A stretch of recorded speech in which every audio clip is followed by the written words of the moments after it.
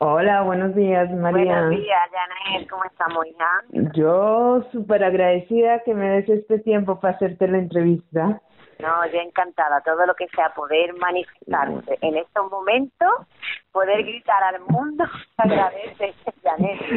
Además, también gritar un poquito ordenadamente, ¿sabes, Janet? Porque me gusta hacerlo, por ejemplo, como contigo, ¿no? o con personas que me preguntan, porque si no, esto es como una aluvión de información eh, que dispara hacia no sabe dónde, ¿sabes lo que te quiero decir? Claro. Eh, claro, yo entiendo, ¿no? Empezó todo tan extraño, tan esto, que hay una aluvión de información de todo tipo que, que te da una estrella, ¿eh? Yo no sé si a ti te pasa, Pues- pero yo con toda la gente que hablo y que no veo, digo, ya, pero qué estrés.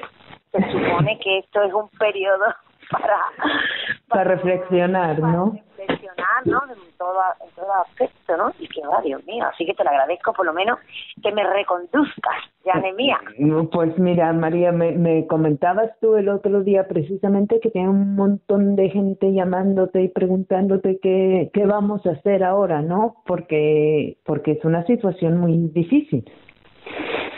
Pues sí, mira, es una situación muy difícil y yo como, eh, vamos, he estado reflexionando porque creo que es que no te queda otra, ¿no? De, de pensar, eh, este sector, por ejemplo, vamos, todos los sectores ahora mismo estamos, yo creo que esto es una pandemia mundial, absolutamente, por desgracia, lo primero eh, me hace mucho reflexionar en todas las pérdidas porque aunque aunque nosotros estemos aquí los que estamos aguantando viviendo situaciones también muy fuertes económicamente, profesionalmente, pero no se nos puede olvidar mm, que esto es una catástrofe mm, hu- humana, ¿no? En el sentido de tantas pérdidas, por Dios, y de que de que dentro de todo lo malo, vamos a decir económico y profesional que estamos sufriendo, no se nos puede olvidar eh, que estamos sufriendo y con el miedo en el cuerpo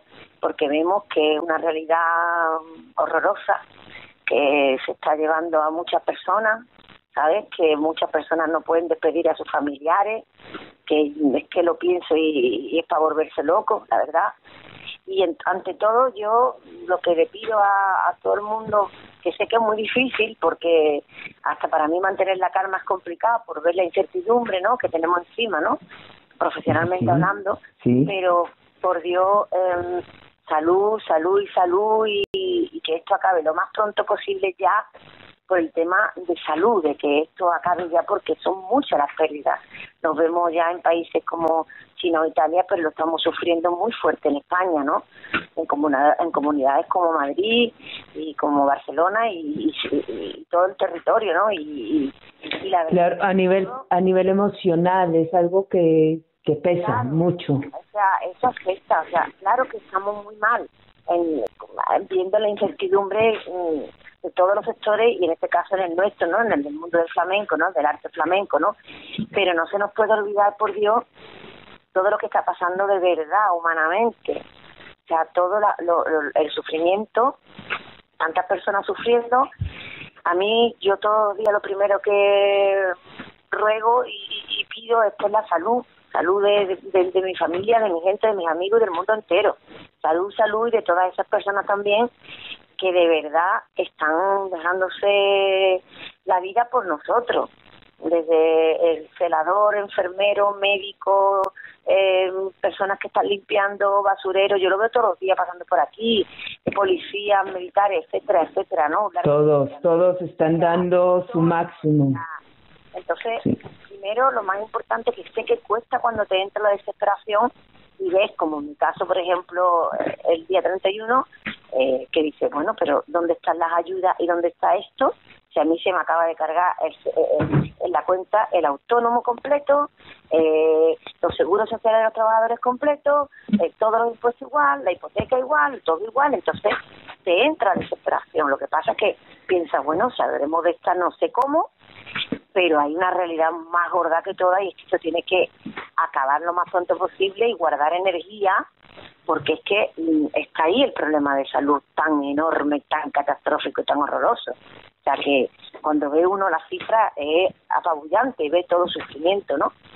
María, mira, mira una cosita, yo, yo que conozco y reconozco en el escenario cuando estás tu, tu sensibilidad de artista y de persona, también de la misma forma tienes un positivismo y una, digamos que, que una actitud positiva y una vitalidad tremenda y por eso precisamente te quiero hacer esta entrevista a ver si si nos puedes dar un consejo, una ayuda tú por ejemplo. Mm, Mira, yo yo ¿De dónde sacas esas fuerzas para afrontar la situación? ¿Qué, qué te ayuda a ti a eh, eh, bueno, me encanta que me hagas esa pregunta porque es curioso, ¿no? Porque mis, mis hermanos, ¿no? O, amigas, ¿no? Que me ven porque yo les mando vídeos de... me disfrazo, yo hago de todo, ¿no? Lo que pasa que muchas veces no todo lo cuelgo en las redes por, porque también creo que las redes hay que tener cuidado, ¿no? Porque hay mucha gente sufriendo, ¿sabes? Es lo que te quiero decir. Hay que dar ánimo pero sin tampoco parecer que una está en una feria, porque no es así. Con sensibilidad, ¿no? Con sensibilidad, claro, ¿no? Pero me lo pregunta, pero tú cómo tienes fuerza pasada, porque mira, a mí Janet, eh, yo llevo ya tres semanas aquí en mi casa, porque yo vine el 8M de Madrid, imagínate. O sea, después de haber estado en el Festival de Jerez, que toda la gente que hemos estado en el Festival de Jerez está un poquito preocupado, pero ya pasamos esa cuarentena en el Festival de Jerez, pero yo llegué el domingo 8M, o sea, estuve en la manifestación, porque yo estaba allí en Madrid trabajando, y estuve en la manifestación, mi tren salía como a las 7 así, y estuve en la manifestación, y allí cogí mi tren y me para acá. Al día siguiente salto todo, y yo a mí no me dio tiempo ni, ni de ver a nadie de mi familia. Llevo tres semanas aquí, metida en mi casa, y tengo mis padres al lado, mis hermanos, mis sobrinos, mi familia, mis amigos, los tengo al lado a cinco minutos, porque es, es con relación a las grandes ciudades más pequeños, tengo mi familia a cinco minutos, y llevo tres semanas. O sea, y ya sin verlos. Los gatos, le canto a los gatos, a de enfrente, que han salido porque es normal, todos los de mi plaza nos conocemos, los de mi, los de mi, los de mi casa, de mi edificio, de mi patio, eh, yo les canto, les taconeo, y me dicen, pero tú cómo sacas fuerza? Pues mira, la fuerza, Janet, yo como todo el mundo tengo miedo, tengo miedo, estoy asustada, estoy agobiada con la situación económica también, con la incertidumbre, pero yo siempre, como vengo de una familia humilde, Janet, yo vengo de una familia, eh, mis padres han pasado mucho, mis padres, mis abuelos, mis tíos, mis tías, toda mi gente son gente muy, muy humilde y ha pasado mucho, mucha fatiga, o sea, pobre.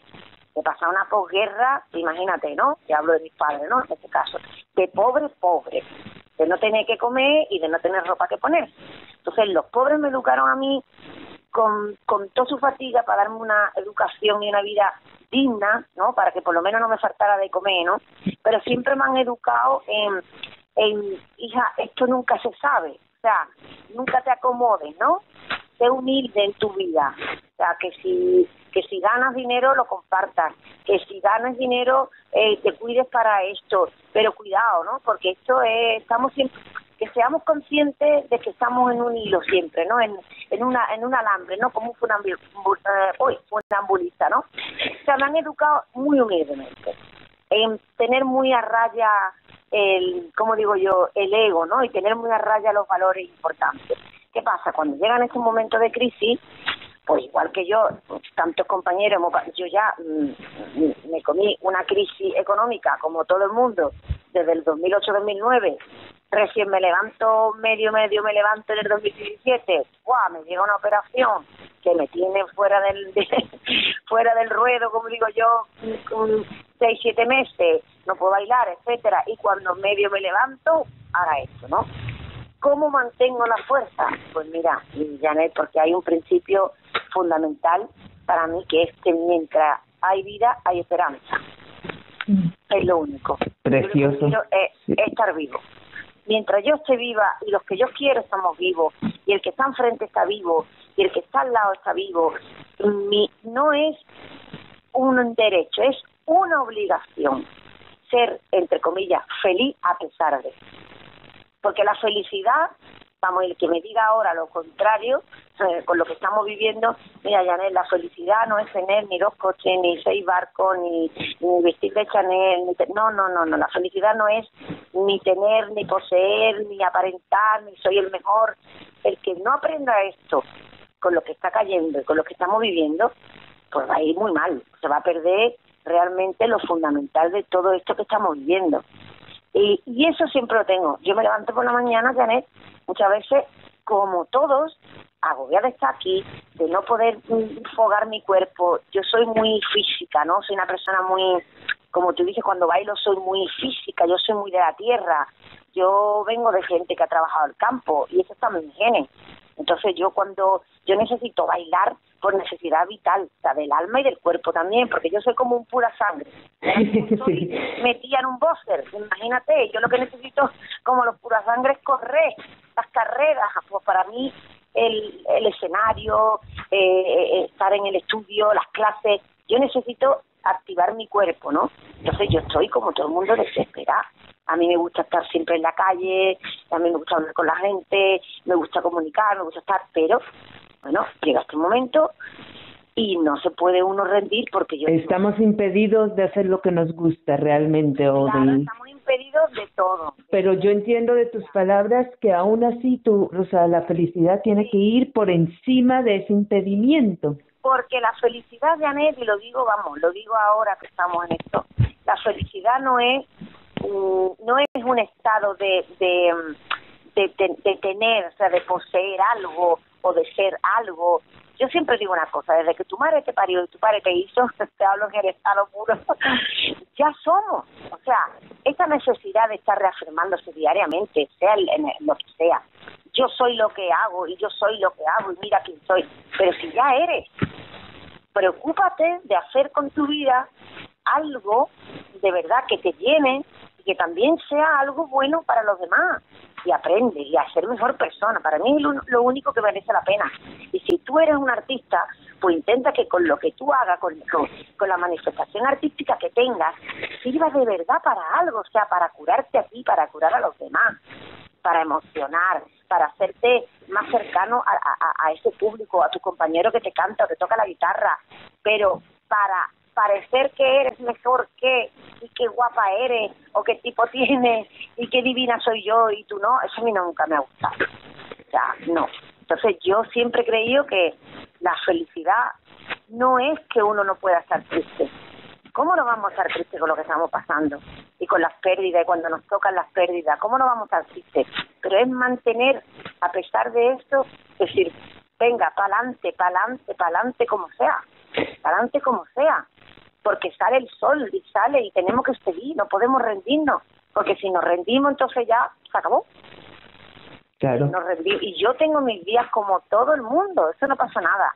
Días que lloro, días que no tengo ganas de, de, de, iniciar nada, días que digo, no tengo nada más que tirarme el sofá, no tengo ganas de vestirme, o sea, todo es legítimo que nos pase. Pero hay una cosa que yo le llamo de cal viva, porque hice un espectáculo sobre esas mujeres de Calviva, esos hombres de Calviva, es hay un hay un mecanismo dentro de mí que yo creo que eso lo he heredado de mi familia, como tantas personas lo tenemos, todos lo tenemos. Algo que a mí me, me, me conecta con mis ancestros, como digo yo, Janet, y mis ancestros han sido como los de todos nosotros, guerreros, o sea, luchadores. no ole, ole. Más, claro, no podemos más, pero tengo que tengo que irme a, buscar de comer. O sea, no podemos más. Imagínate la, la historia que me contaba mi padre, esa posguerra, imagínate esa posguerra, ¿no? De la guerra civil. Tremendo.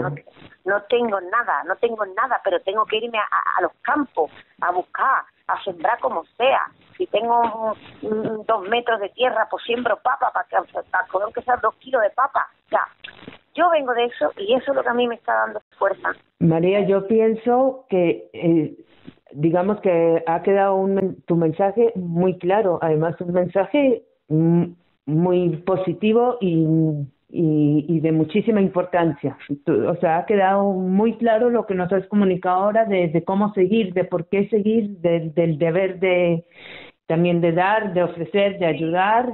Yo te digo que no es que no es, es que es una obligación, o sea, ¿cómo te explico una obligación? No es esa palabra, pero que nos, que seamos conscientes de que, estamos aquí, ¿no?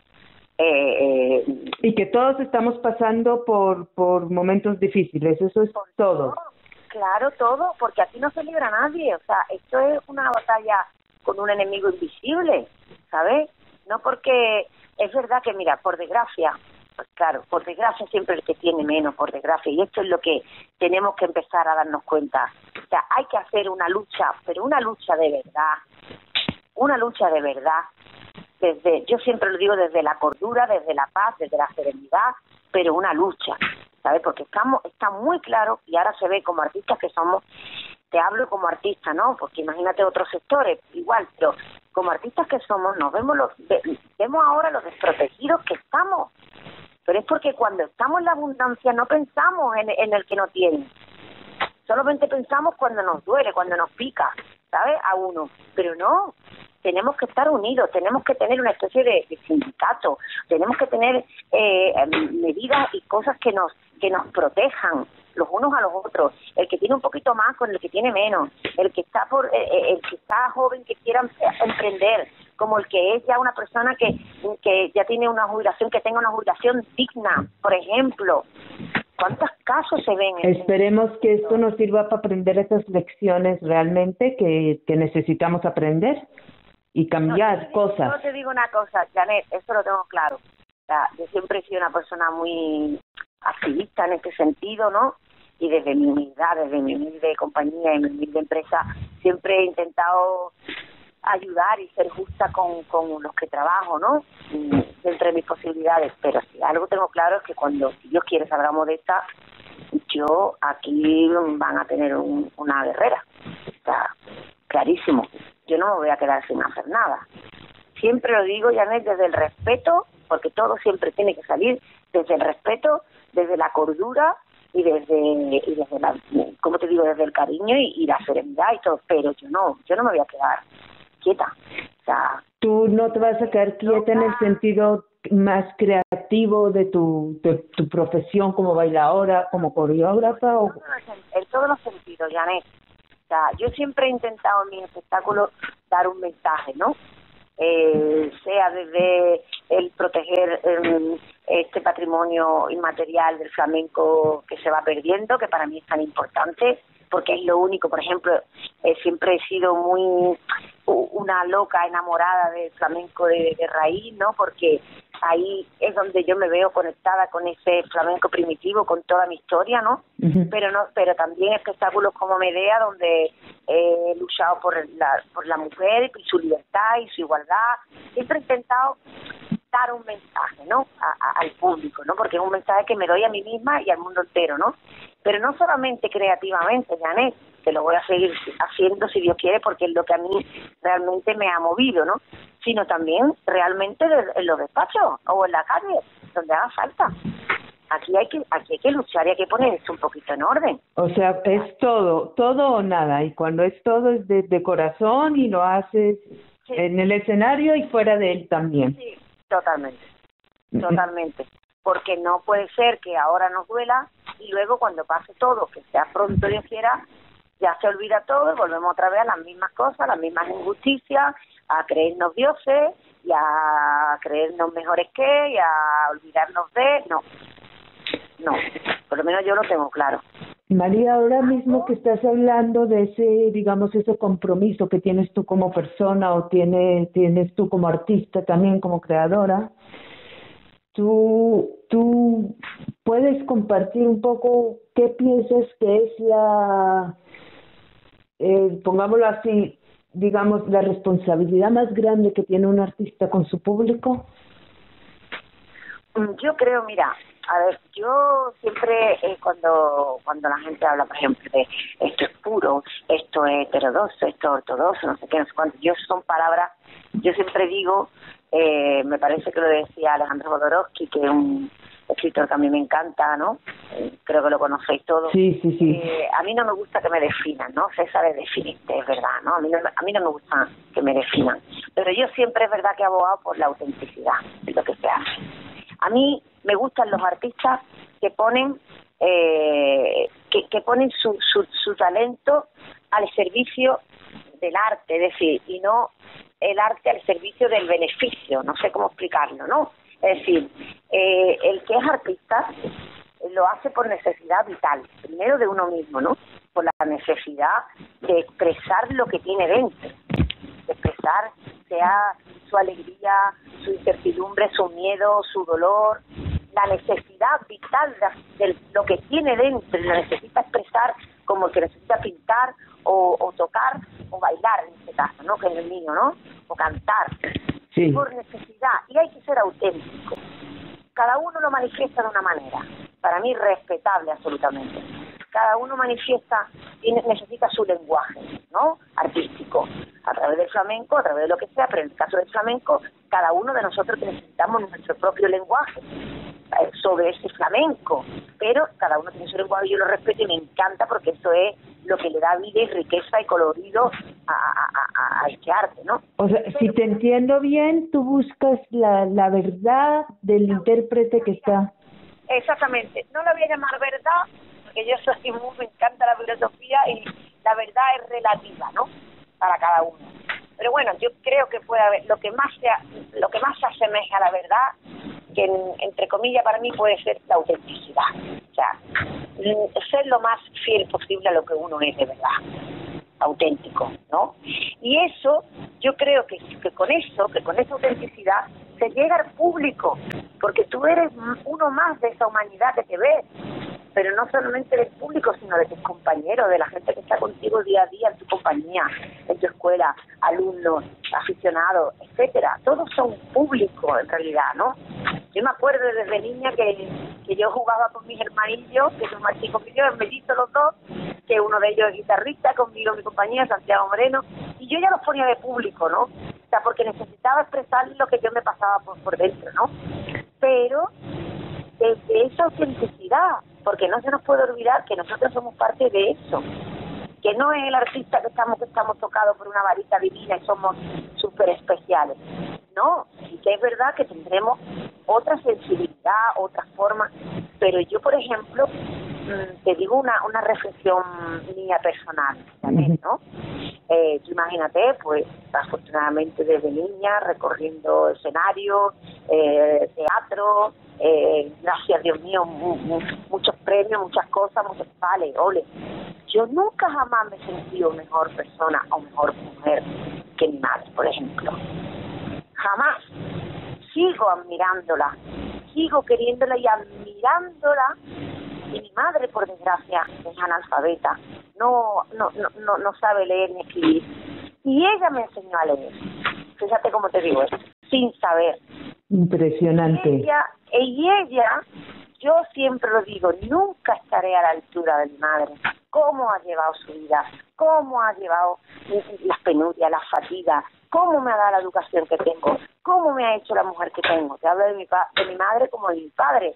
Entonces, que por favor el artista se sienta divino en ese escenario, pero que luego tiene que ser humano, tiene que ser humano y solidario, utilizar esa sensibilidad que tenemos, ole, ese, no decir este, ah, que nos han dado para que sirva para algo. Y en mi caso lo tengo claro, ¿no? Es, es dar, dar a través del ejemplo un, o sea, manifestar a través del ejemplo lo que son tus virtudes. Que con tu arte sirvas de inspiración, que con tu arte sirvas de dar para dar esperanza, que con tu arte eh, puedas emocionar y compartir ese dolor con ese público que, que, que, sufre como tú. Y yo siempre lo digo, curar, o sea, curar de una forma u otra a través del que Pero a mí el artista, que lo único que busca es la fama y la gloria, efímera, por cierto, para ser y para ser, porque yo y porque yo, y, y tener dinero y tener más dinero, a mí no me, no me atrae nada. Claro. hay, que, hay que defender al arte por encima de tu beneficio propio. Totalmente. Mira, María, ahora mismo que, que, estamos entrando en el tema y hablas de la inspiración, ¿nos puedes compartir un poquito o comentar tú de dónde sacas inspiración cuando ya entras al proceso creativo? Mira, pues, Jané, a mí, mm, yo no sé, habrá muchos compañeros que le pasa, seguro, ¿no? Yo yo me acuerdo desde niña, desde que tenía, eran poner cuatro o cinco años, ¿no? Mis primeros recuerdos, eh, había una cosa en mí, yo no sé si es se hereda o, eh, la personalidad de cada uno, lo que uno tiene dentro, la educación que recibe, ¿no? Pero yo me inspiro de, de niña yo, yo por ejemplo, soy muy seguidillera, ¿no? y, yo me acuerdo que desde niña ya con cuatro o cinco años a mí, me, yo escuchaba en mi casa la seguidilla de Manuel Torre o las cabales del Serna, que ponía mi padre en un tocadisco, y yo ya me iba a otro lado, me iba a otro mundo me iba a la azotea, yo confiscaba confiscaba el, tocadisco, que era un tocadisco muy chiquitito, y, y, los primeros discos así chiquititos, me acuerdo de 45 Revoluciones, me lo llevaba arriba a la azotea, yo me ponía a bailar, ya me inspiraba, porque a mí no sé qué tenía dentro que necesitaba expresar. A veces digo, no sé si es una pena que se hereda, una tristeza que se hereda, ¿sabes? Algo que ya eso lo traía yo desde niña, ¿no?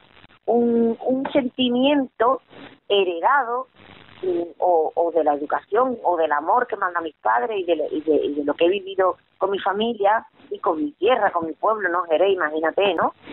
Que desde niña me he inspirado de todo lo que veía, ¿no? A mí mi inspiración es la vida, mi inspiración son los demás, a mí me inspiran los demás, porque es lo que yo veo en los demás, lo mismo que tengo yo, para yo conocerme a mí misma también necesito conocer a los demás, porque yo creo que como uno se conoce a través del otro, ¿sabes?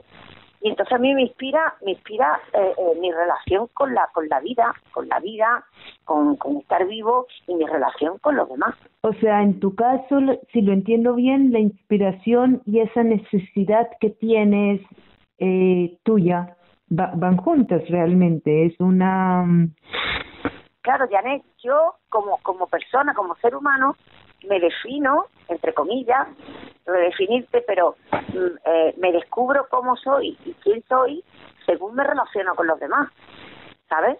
Entonces, a mí me inspira para saber, por ejemplo, eh, imagínate en el amor, ¿no?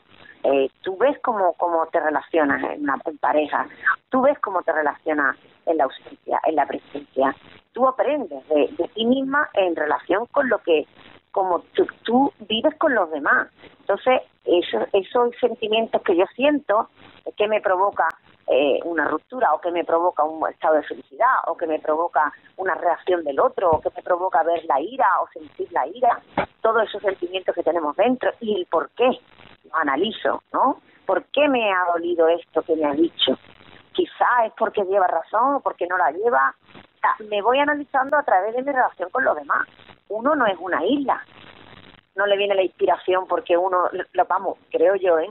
A mí no me viene la inspiración de repente porque soy divina y estoy conectada con la luz estelar de... No, no. O sea, yo soy un muy humana y es verdad que tendré cierta sensibilidad como, como tantas personas, porque cada uno tiene un talento y un don, y en este caso yo lo expreso bailando, lo expreso creando espectáculos, pero yo me inspiro del, del día a día. Yo me inspiro de mi relación con los demás de mi relación con los demás y conmigo misma, obviamente. O sea, es, es, un, es una acción social, o sea, de, de comunicación constante también, es algo que... Sí, Mira, hay una cosa que me, que me encantaba, que Tolstoy decía, que si querías conocer a, la humanidad entera, conoce a tu aldea, ¿no? Conoce a tu pueblo, ¿no? Sí, sí. Pues, por ejemplo, yo simplemente en la relación que tengo con mi pueblo, con la gente de mi tierra, con la gente de que eh, eh, incluso ya tu familia es un pueblo, ¿no? Pues en cómo me relaciono con mi familia, con mis amigos, eh, con mi tierra, con mi pueblo, con los demás pueblos del mundo que he aprendido mediante la, suerte de viajar, pues a través de toda esta relación que tengo, y sobre todo con la gente más cercana, porque yo no entiendo el que dice amo la humanidad pero odio a mi vecino. Entonces, que no lo entiendo. Como hay tanta gente, tanta gente que por la paz mundial, por la paz mundial y luego si se tiene que pelear con tu vecino y arrancarle los pelos, se la arranca. No lo he entendido nunca, ¿sabes? Me parece demagogia absoluto. Yo creo que cuando se ayuda a alguien, al que tiene al lado ya se está haciendo un bien a la humanidad entera ayudando al que está al lado, al que está abajo, al vecino de abajo, al de enfrente. Ya estoy ayudando a la humanidad entera. Y en eso me baso yo. para sacar primero mi fuerza, mi energía y mi inspiración. Qué belleza de, de digamos que de, de filosofía que tienes ante ante lo que es Janet, yo creo Janet que soy muy tribal todavía, ¿sabes? Muy de tribu, muy de de, de, de, ¿cómo te digo? De proteger a, a, a, la tribu, ¿no? Soy muy de proteger a la tribu, de, de si uno cae, levantarlo. Y... Claro, pero es que a veces lo que consideramos nosotros primitivo, quizá, entre comillas, luego eso es lo que nos está haciendo falta como humanos un poco también. Yo por eso, ya, me encanta lo que estás diciendo, porque yo ahí creo que radica mi fuerza. O sea, que yo estoy muy conectada con lo primitivo. Y eso se lo agradezco. Vamos, lo digo cuando hablo con mi padre por llamada y demás. Se lo agradezco a ellos, que me han conectado desde niña con el campo, que me han enseñado a, te lo digo, y me encanta, y, es donde soy más feliz. Y se manifiesta en tu baile también, en tu forma, en tu... Yo siempre he tenido los pies en el barro, Janet. Yo siempre llegaba a mi casa sucia. Entonces a mí me encantaba reborcarme en la tierra, irme con mi padre. Lo, ahora lo recuerdo como los momentos más felices. Me iba con mi padre a sembrar papa, a, sembrar tomate, a recoger pimiento, a, íbamos a la, a la, a la, viña a coger uva, a, trillar garbanzos, eh, lo mismo tecoso, que te, que te, vamos, yo vengo de, ahí, yo vengo de gente que cogía, decía mi tío, venga, a ver, hoy vamos a comer gallina, y, y la gallina y matarla, o sea, vamos a hablar claro, no pasa nada, vengo de ahí, hoy no hay gallina, papá, arroz, pues venga, y, y te lo agradezco a ellos, porque yo me crié en un barrio donde hasta que yo no tenía siete o ocho años, no teníamos agua corriente, ¿sabes? Yo he bebido agua de pozo, y aquí, como se dice, hay un dicho que el que bebe agua de pozo es inmune a todo. pues yo he bebido agua de pozo. Claro, y que sí es verdad que la vida te ha inmunizado un poco a, a, a esto, por ejemplo, de la pandemia, tú lo puedes llevar mejor que quizá otra gente que está más, más paralizada por el miedo. O... Sí, Janet, yo creo que lo que me ha hecho aguantar, que te digo que eso no significa que haya días que me, me suba por las paredes y me indigne, por ejemplo, lo digo públicamente, me indigna ahora mismo, a 2 de abril, la poca cobertura social que, por ejemplo, estamos teniendo en nuestro sector del flamenco y que yo me indigne que todavía se nos cobran los autónomos y que se nos cobran los seguros sociales y que no se sabe qué va a pasar y que no y que ahora viene el trimestre y no nos dan. O sea, a mí me indigna. O sea, estoy indignada y me indigna y me preocupa y me agobio porque es lógico, porque no sabemos la situación con la que nos vamos a encontrar, primero cuando salgamos y la que ya estamos viviendo. Es que es que no, es que no vamos, es que no podemos. O sea, todo no significa que porque yo me mantenga erguida como puedo, con dignidad como puedo, no me toque. Me afecta todo. Me entristece no estar sola. Me entristece ver que estamos desprotegidos, que no sé de dónde voy a sacar, de inventarme y reinventarme, ¿sabes? Pero cuando hago así digo, bueno, María, para adelante. Pues de esa tristeza a lo mejor sacas la fuerza, ¿no? Para decir, pues esto hay que cambiarlo, esto hay que seguir. Efectivamente, efectivamente. Para adelante, para adelante, venga, siempre para adelante. Para adelante, no, no me puedo, no, no soy de las personas que me regodeo en la pena, ¿sabes? yo digo que utilizo la seguirilla, por eso me encanta bailar tanto por seguirilla o por soleá, porque utilizo el escenario como ahí es donde exorcizo toda esa pena que yo voy diciendo no quiero ver, ¿no? Para poder tirar para adelante y por eso me gusta bailarla, porque cuando la bailo me cura, ¿no? Porque en mi día a día intento no no regodearme, no soy masoquista de regodearme en la tristeza, ¿sabes? No, María, tú cuando cuando bailas eh, la seguirilla, la soledad, como tú como tú dices, pues yo creo que eso también es eh, un elemento un poco transformador que tiene el flamenco, ¿no? Que puedes. Claro. Mira, mm. el flamenco, eh, y ya te lo digo, ¿verdad? Hoy a los años que estamos, eh, es lo estoy viendo, lo estoy viendo eh, y lo analizo mucho, lo reflexiono mucho el flamenco es una de las músicas, artes, porque para mí el flamenco es más que un arte, más que una música, es filosofía, eh, es mística, es, ah, te lo digo, tiene todo, es casi una religión, ¿sabes? Si lo quieres decir así, ¿no? Con todo mi respeto por Dios, que cuando yo hablo de religión me refiero a lo que te ayuda a creer en algo, ¿no? Dando todas todos los credos, absolutamente. Pero para mí, el flamenco es más que una música, es más que un arte, es, una filosofía.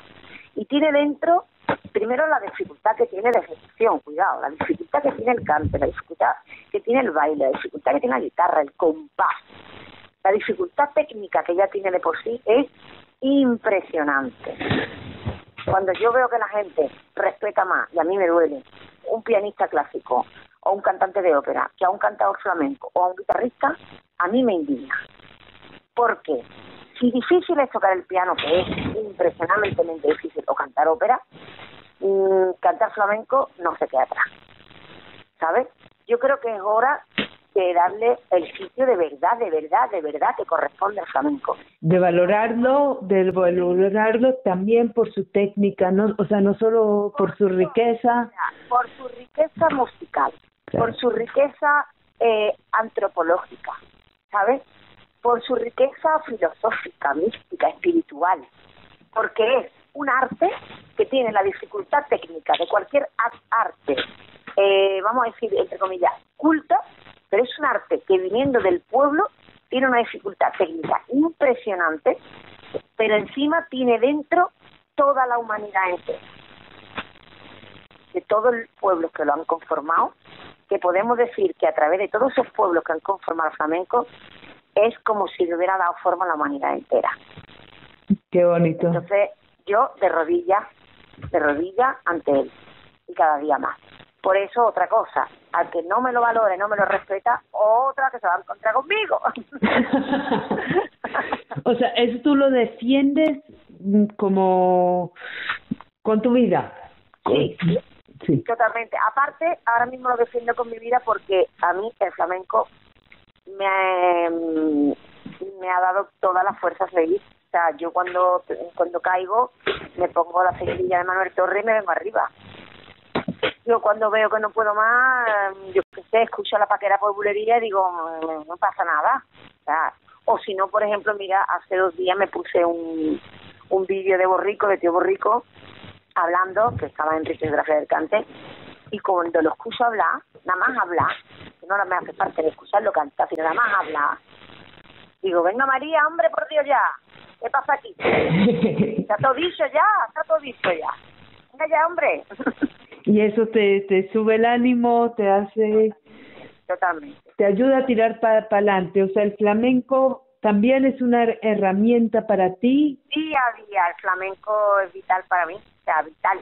Yo estoy conectada desde que me levanto hasta sueño flamenco, hasta sueño cante, baile, lo sueño. Yo sí. Entonces, como, como gasolina, vamos a decir, para que me entiendan. Claro, lo que necesitas para seguir viviendo. Combustible, claro, es mi combustible. Y ya no, no lo necesito solamente en el sentido de tener que subirme al escenario. Yo voy a hacer flamenca toda mi vida, si Dios quiere hasta que me muera. Porque eso es una forma de ser. ¿Sabes, Janet? Sí, sí. Es una forma de ser ya saben conmigo ya no es un solamente un recurso de vida. Que a Dios gracias, por favor, que no hay cosa más bonita, más maravillosa que poder ganarme mi vida dignamente y humildemente a través del flamenco, ¿no? Pero siento consciente de todo lo que le agradezco a él y por ende a sus creadores e intérpretes y maestros, claro, sin los cuales yo no, no, no sabría nada desde el más pequeñito aficionado que me ha enseñado al, al, maestro, al propio alumno que me da lecciones también. Y, mis alumnos son también mis mi maestros a la vez, porque a través de ellos veo lo que me falta de aprender y lo que, y lo que tengo que, que reformatear de nuevo. Esto es un aprendizaje constante. Pero vamos a decir que la llama de todo esto es el flamenco. Es el flamenco. Lo que, lo que mantiene vivo, eso es el flamenco.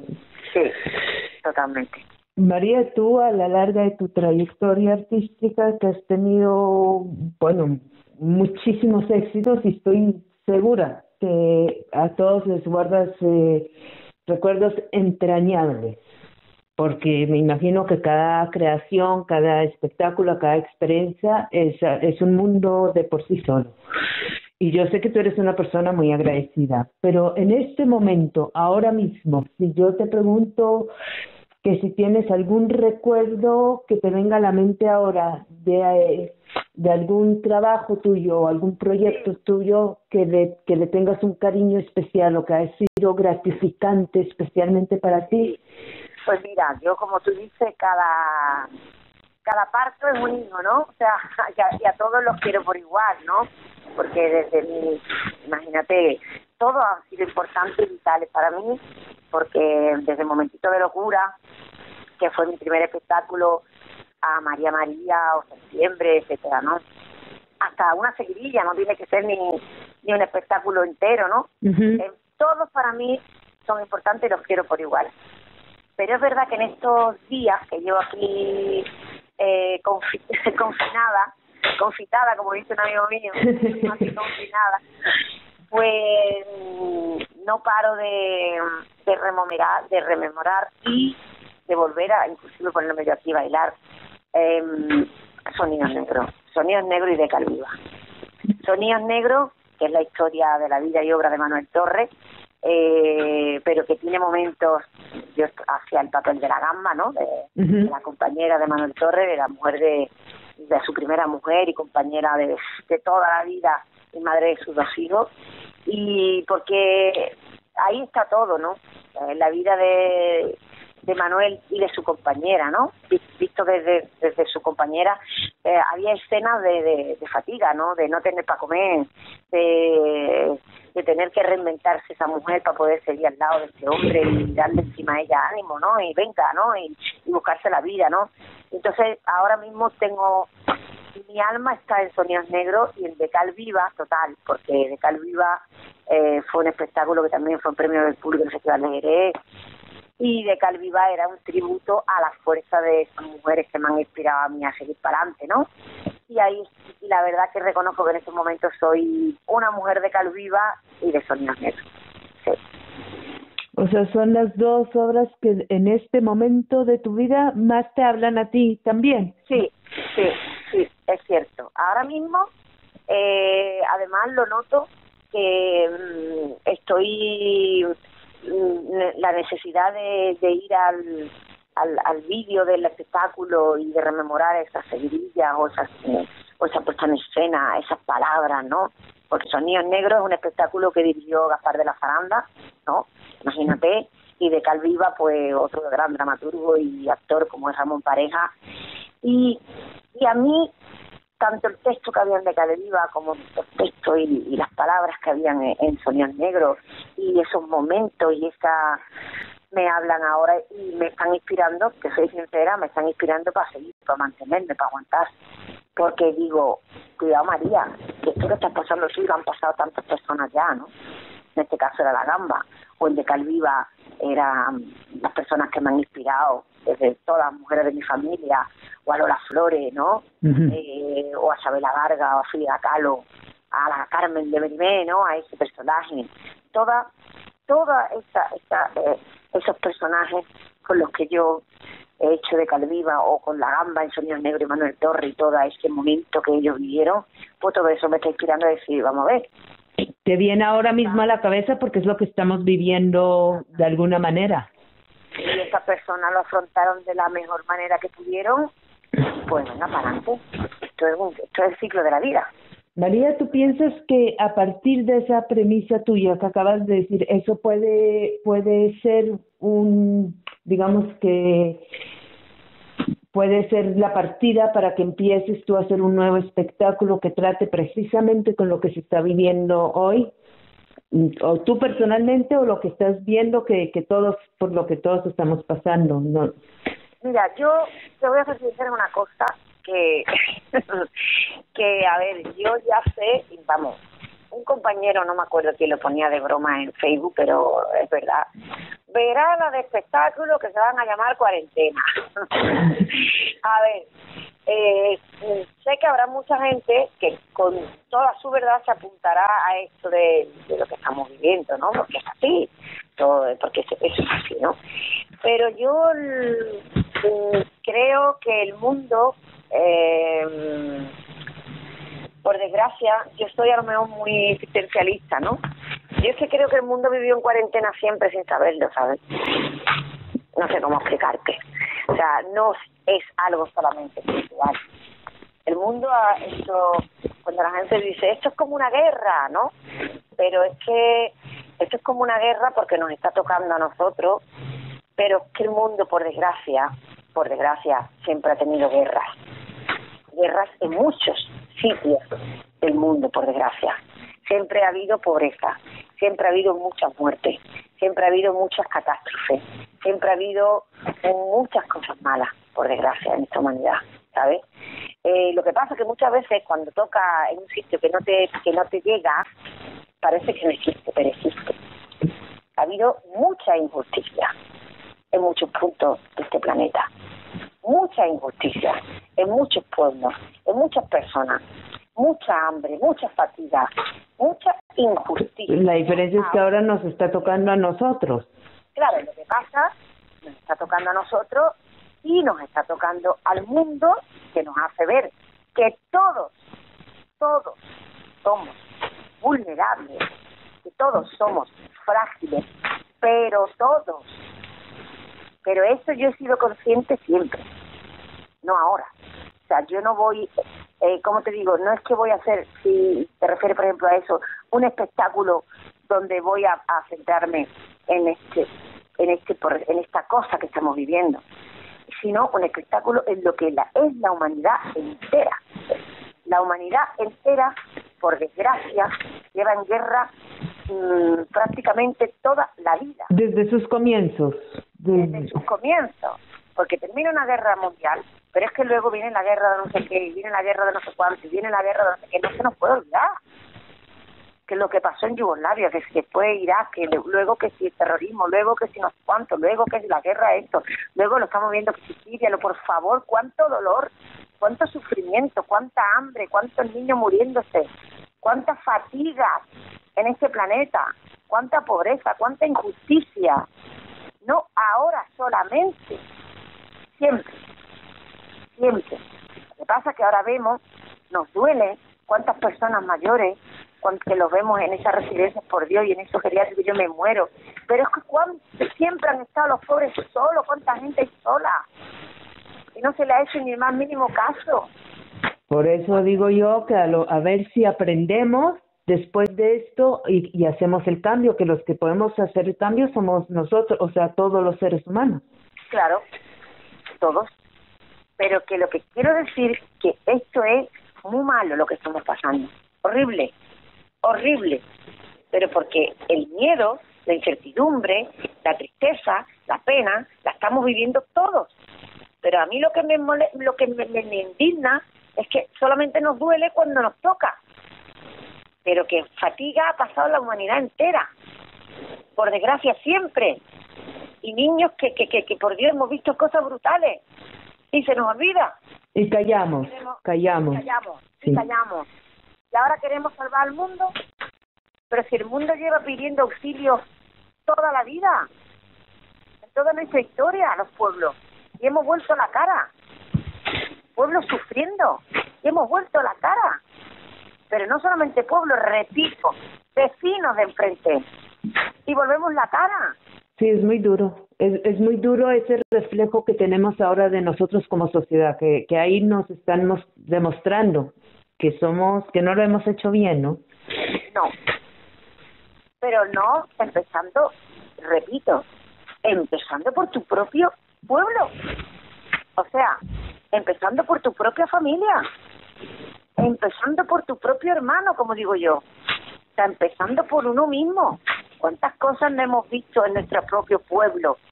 en nuestro pueblo, pueblo de, de, familias con fatiga, familias que han desahuciado, de familias que no tienen, de esto, del otro.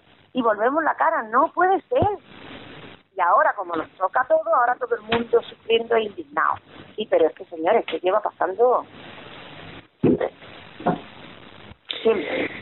Es mm. horroroso lo que está pasando. Mm, bueno, eso, eso también ha quedado muy claro. Como lo has dicho, creo que son palabras duras, pero que las necesitamos oír, porque es la verdad. Gracias, Janet, porque, porque me parece de verdad que si no aprendemos de esta, mm, ¿cuándo vamos a aprender?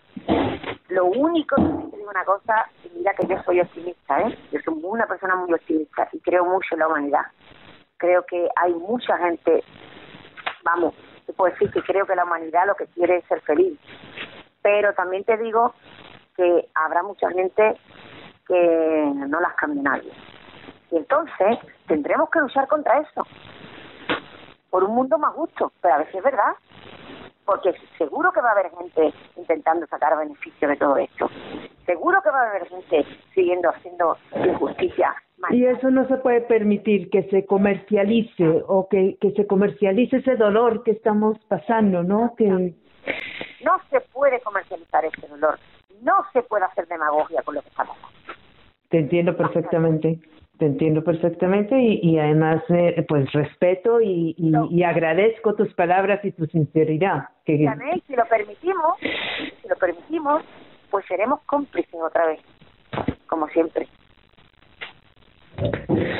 Wow, qué fuerte, pero qué, qué real y qué verdadero. Empezando la primera yo, ¿eh? Cuidado, siempre hablo en plural, que no es que yo soy aquí, como te digo, me he dado no, no, no, no, no, yo me meto la primera. La primera me meto yo, la primera responsable yo. Que digo, pero María. Ya, ahora es más cuestión de asumir uno la responsabilidad y decir, venga, que sí podemos cambiar, que sí, que sí podemos hacerlo mejor. Es que lo que estaba pasando, de verdad, Janet, es que, mm, que exista Facebook, que exista Instagram, que exista esto, bien utilizado, es maravilloso. Pero todo esto ha nacido por una necesidad de, de verdad, de una inconsciencia y falta de responsabilidad.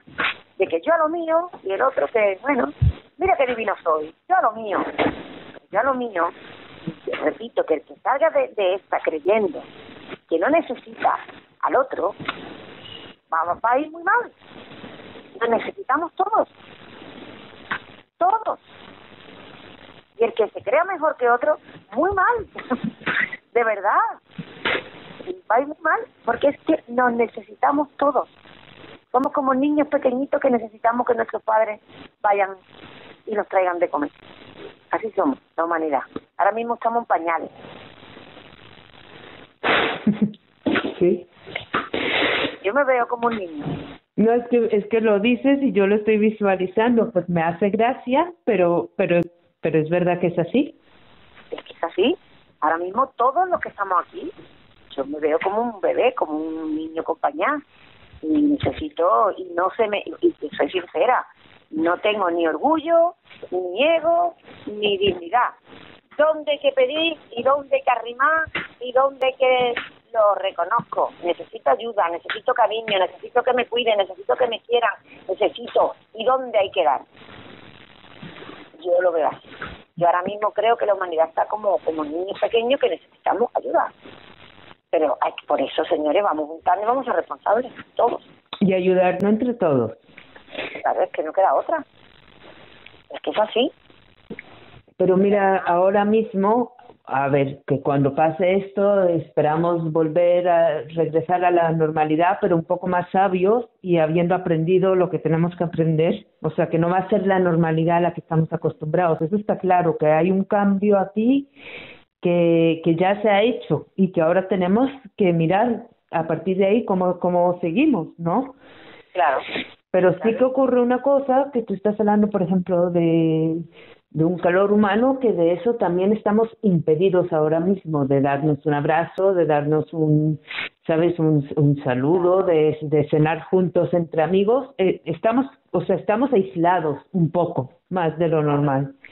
Claro, y yo creo que esto es una buena reflexión para decir al mundo entero, señores, las redes están muy bien, pero las redes jamás van a sustituir un, un abrazo, una palabra un beso, un abrazarse, un beso. Eso, el, el, el, tacto humano, ¿no? el físico. Está bien. María, cuando tú te encuentras ahorita que llevamos ya tres semanas en esto, y, y ¿Tú, tú hay momentos en que tú sientes que te sofocan las paredes o que, que, que te sientes ahogada por toda esta situación? Mira, toco madera. ahora mismo, ahora mismo todavía no lo he sentido, ¿no? O sea, hombre, claro que, sí que lo siento, ¿no? Porque soy una persona muy fantasiosa con mi mente, ¿no? O sea, yo, mira, me acuerdo de un personaje que para mí me, me, me marcó mucho y leí muchas cosas sobre él, que es Mandela, ¿no? Sí que él hablaba que la libertad está en tu cabeza, ¿no? Imagínate, ¿no? Todo lo que con los años que pasó ese hombre en la cárcel. Exacto, ¿no? Entonces em, he visto mucho sobre él y he leído mucho sobre él y sobre tantas personas, ¿no? Que no han podido salir de una zona de, conflicto, ¿no? Imagínate sentirte atrapado en, en una guerra o sentirte atrapado, cuánta gente, ¿no? Trabajando eh, para el otro eh, en circunstancias tan complicadas, ¿no? Eh, y eso es lo que hace que, que yo aguante, ¿no? Porque la libertad está en tu, en tu mente, en tu cabeza, ¿sabes? Para mí, ver, mirar al cielo y digo, no, qué libre, ¿sabes? Pienso que la libertad es una condición que tiene uno dentro, ¿sabes? Me ayuda mucho eso, a, a intentar eh, mantener ese, esa sensación de libertad. O sea, a ti las paredes no te pueden encerrar la imaginación, la creatividad, eso no te lo te lo limitan las paredes. No, mi libertad toda está donde yo estoy. O sea, yo para mí la libertad es tan importante, o sea, la libertad es tan importante porque para mí yo creo que lo, yo no podría vivir ni con miedo ni con libertad, ni sin libertad. Esa es mi lucha. O sea, yo siempre lucho contra el miedo, eh, que creo que creo que es lo peor que se puede tener, miedo. El miedo, eh, mm, porque además lucho contra el miedo porque siempre he sido una niña desde niña con mucha angustia vital dentro. Entonces lucho contra ese miedo y contra todo lo que me quita la libertad. O sea, sin libertad y con miedo no se puede vivir.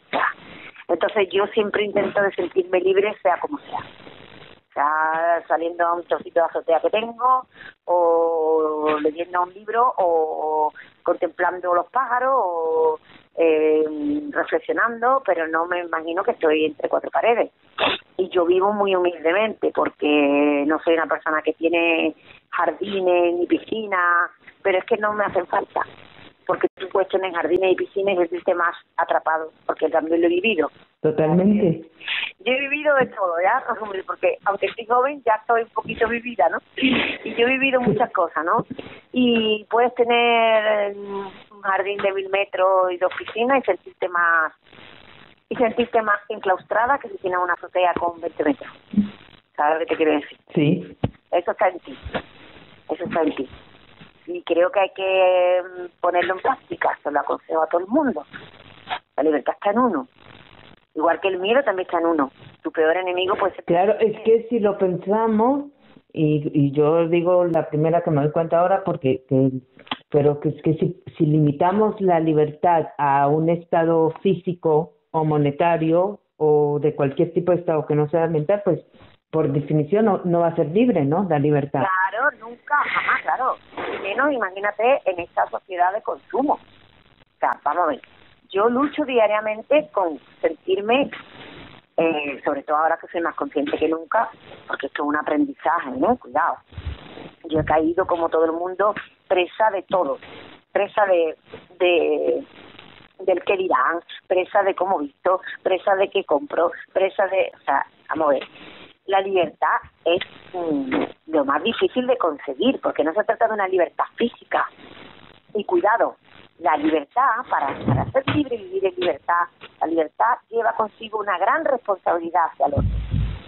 ¿Sabes? Cuidado, yo no hablo de libertad, hacer lo que me da la gana y no me importa eh, tu sentimiento, no me importa pasar por encima. De... No, no, no, no, no. La libertad verdadera es al contrario.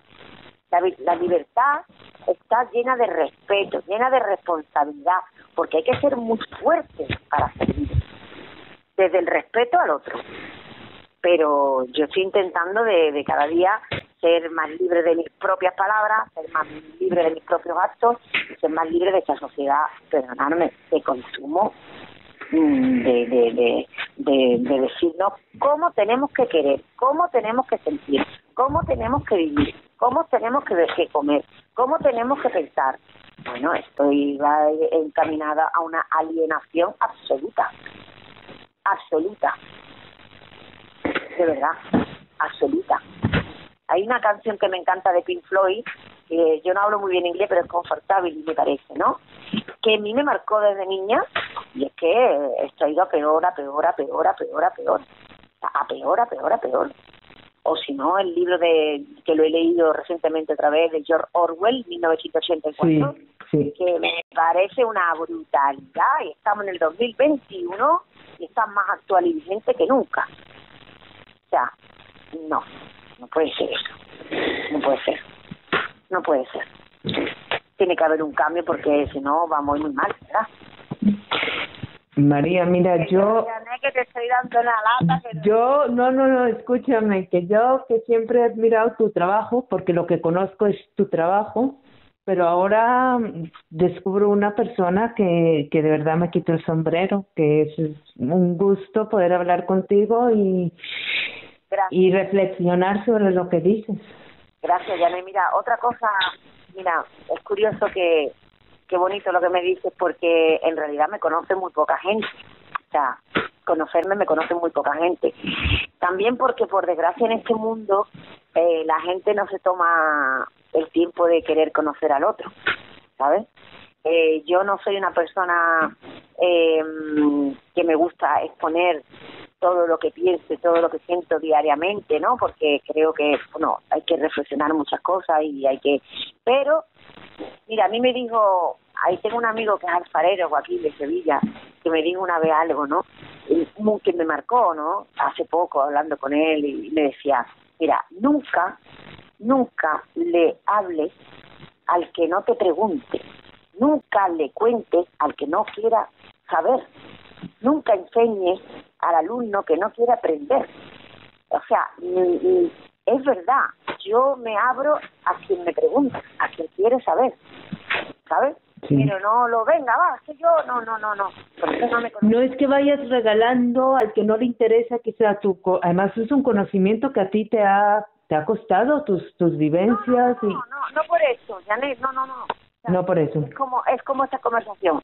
Tú me has buscado sí. y yo me abro un canal. ¿sabes?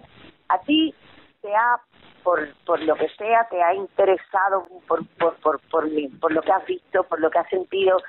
Bueno, es por mí, espérate, que es por mí y somos muchas más, además, que lo sepas que que no es solo para mí, yo lo estoy disfrutando y, y, y sabes lo que te admiro y sabes que, que, que, para mí es importantísimo, pero además somos muchos alumnos que, que es verdad que estamos buscando esa interacción claro, de, de escucharos. pero por ejemplo, yo te agradezco el que te hayas preocupado.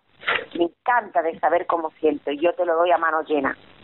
Pero muchas veces no no quiero hay mucha gente que no me conoce cómo respiro, cómo no siento porque no me gusta saturar saturar al otro, porque mira, yo siento así, porque yo pienso así, porque yo creo así, ¿no? O sea, a nivel de las redes, de lo que No, yo humildemente lo hago con mis espectáculos, lo hago con mis clases, e incluso cuando doy un curso, yo, lo, yo me doy a mano llena, pero hay muchos alumnos que cogen la coreografía y se van. Y no quieren saber más ni cómo siento ni cómo parezco. Pero, afortunadamente, siempre hay alumnos que quieren saber más, no de mí, de lo que estoy haciendo, de lo que, de lo que le estoy dando. Entonces son personas que quieren aprender y ahí me abro manos llenas. Pero hay mucha gente que, que habla de mí o dice de mí sin conocerme. Porque lo que también acuso de esta sociedad actual es que hablamos del otro sin conocerlo, no le damos ni la oportunidad de, de conocerlo o descubrirlo. Es verdad, yo creo que es una falta de interés, ¿no? Es algo... Efectivamente, ¿no?